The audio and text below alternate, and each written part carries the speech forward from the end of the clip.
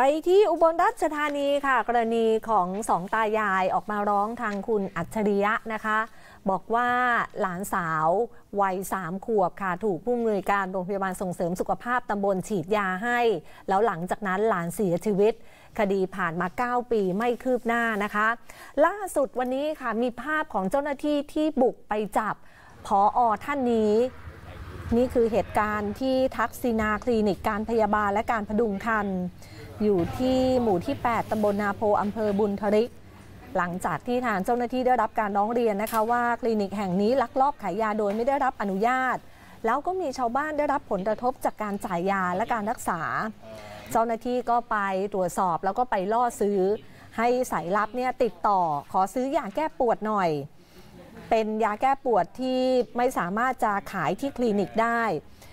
ปรากฏว่าผู้อำนวยการโรงพยาบาลส่งเสริมสุขภาพตำบลนายกฤษแก้วมณี เป็นคนขายให้กับสายลับค่ะ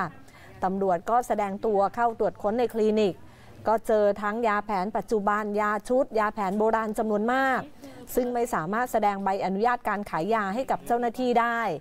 เจ้าหน้าที่ยึดไว้เป็นของกลางทั้งหมดนะคะ รวมมากกว่า 100 รายการ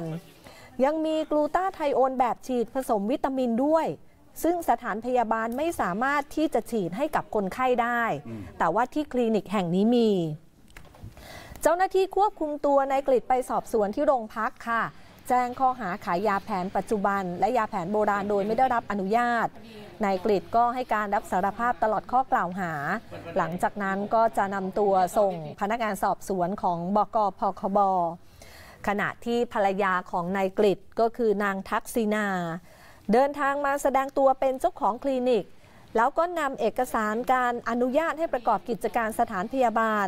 จากทางสำนักงานสาธารณสุขจังหวัดอุบลราชธานี มาแสดงต่อเจ้าหน้าที่ตำรวจนะคะ โดยบอกว่าคลินิกได้รับอนุญาตให้เปิดอย่างถูกต้อง วันนี้ถูกรวบตัวแล้วนะคะ ขณะที่ทางคุณตาคุณยายเองก็ยังรอความเป็นธรรมอยู่ หลานตัวเองเสียชีวิตไปไปหาหมอด้วยอาการปวดท้อง ปรากฏว่าทางผู้อำนวยการโรงพยาบาลส่งเสริมสุขภาพตำบล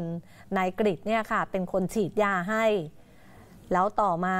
หลานเสียชีวิตนะคะ เมื่อปี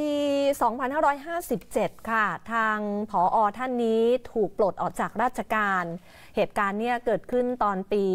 55 หลังจากนั้นมีการตั้งกรรมการขึ้นมาสอบพบว่ามีความผิดก็ให้ออกจากราชการ ปรากฏว่าหลังจากนั้นทางผออค่ะ ไปฟ้องกลับตากับยาย ข้อหาเบิกความเท็จ ต้องมีการต่อสู้กันถึง3ศาลนะคะ สุดท้ายศาลยกฟ้อง ใช่ครับ เพราะว่า ตากับยายเนี่ยเคยมาออกรายการโหนกระแสแล้ว ค่ะ คือตากับยายเนี่ยน่าสงสารมากนะฮะคุณผู้ชมเห็นโลงศพนี่ไหมฮะโลงศพเมื่อสักครู่ที่คุณเห็นเนี่ยนะฮะเป็นฝาบ้านของตายาย คือแกไม่มีตังค์อะคุณผู้ชมครับ แล้วไม่มีโลงศพให้หลานวัยสามขวบ ก็เลยต้องไปงัดฝาบ้านตัวเองเนี่ยแหละฮะค่ะเอามาประกอบเป็นโลง แต่ตอนนี้ยังไม่ได้มีการเผาศพน้องนะครับ หลานคนนี้ยังไม่ได้มีการเผาศพนะฮะจนกว่าผอรายนี้เนี่ยจะจะจะได้มีการแบบเอ่อโดนลงโทษค่ะนะครับเพราะว่าตัวแกเองเนี่ยโดนผอคนนี้เนี่ยอย่างที่คุณหมวยบอกไปนะฮะกลับมาฟ้องสู้กันสามศาลนะฮะเก้าปี ค่ะเก้าปีนะครับเนี่ยดูดิฮะแล้วที่มันแปลกนะครับก็คือตอนที่หลานสาวมีอาการทุรนทุรายอืมอาเจียน คุณตาเนี่ยพาหลานกลับไปหาผออีกครั้งหนึ่งที่คลินิกผอผอทำไงพี่หมวยผอจับ ผอจับแล้วจับขาเด็กเนี่ยนะฮะค่ะเอาหัวห้อยลงกับพื้นแล้วก็เขย่าอืมแล้วน้ำอะมันก็ไหลออกจากปากของเด็กค่ะเพราะเด็กเนี่ยอาเจียนอยู่แล้ว แล้วพออบอกว่า อ๋อ มันกินข้าวเหนียวเข้าไปข้าวเหนียวติดคอมันอืมไปพูดแบบนี้ ทั้งทั้งๆที่ตายืนยันว่าหลานเนี่ยไม่ได้กินอะไม่ไรได้กิน เพราะว่าเพิ่งจะฉีดยาจากพออเสร็จแล้วพากลับบ้าน พอพากลับบ้านแล้วมีอาการเกิดขึ้นนะฮะหลานชักเกรงมีอาการอ่าอาเจียนก็เลยพากลับมาใหม่ แล้วพออทำแบบเนี้ยฮะอืม หลังจากนั้นก็พาไปที่โรงพยาบาล สุดท้ายเด็กเสียชีวิตค่ะเนี่ยนะครับคือพออไปบอกว่าเด็กเนี่ยมีอาการลำไส้อักเสบอืมแต่ทางคุณอัจฉริยะกับทางคุณตาคุณยายบอกว่าไม่ใช่ เป็นไส้ติ่ง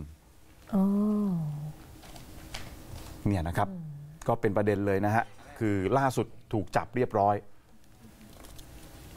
อ้าวนะครับ ก็ส่วนเรื่องราวของคุณตาคุณยายแล้วก็หลานของคุณตาคุณยายก็เดี๋ยวต้องไปดูนะครับว่า เรื่องนี้จะไปสุดลงตรงไหนค่ะสู้กันมา 9 ปี